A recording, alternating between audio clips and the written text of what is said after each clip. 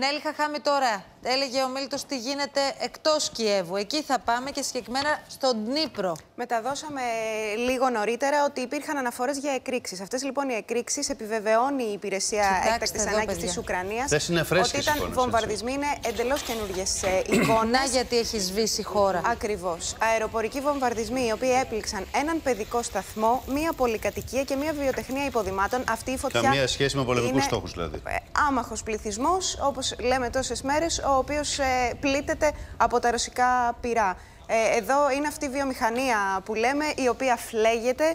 Ε, να σας πω ότι έχει μέχρι στιγμής, ε, έχει χάσει ένας άνθρωπος τη ζωή του.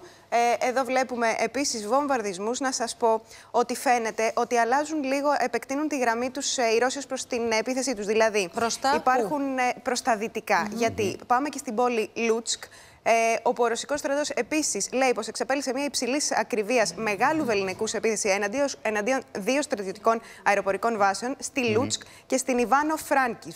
Εδώ Βλέπουμε το πλάνο από την ε, πόλη Λούτσκ. Ε, υποτίθεται πως έχει βομβαρδιστεί ένα αεροδρόμιο, στρατιωτικό αεροδρόμιο, στο οποίο μάλιστα Βλέπουμε κοντά. Τις λάμψεις, στο βάθος. Ακριβώς.